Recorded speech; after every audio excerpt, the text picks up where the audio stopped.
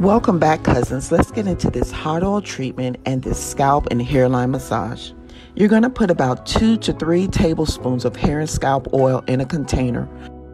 Add a few drops of Donna's Recipe Strengthening Oil for good measure.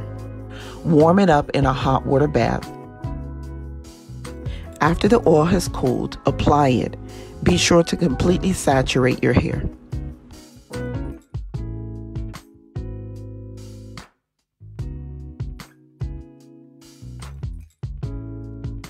Go ahead and grab your Donna's Recipe Strengthening Oil. Generously apply the oil to your scalp and with your fingers massage your scalp into slow circular motions. Remember your hairline too. Gently massage the area to promote hair growth. And after 20 minutes, you're going to wash your hair with Donna's Recipe Extra Creamy Shampoo and Conditioner, and then you'll style using either the LCO or the LOC method.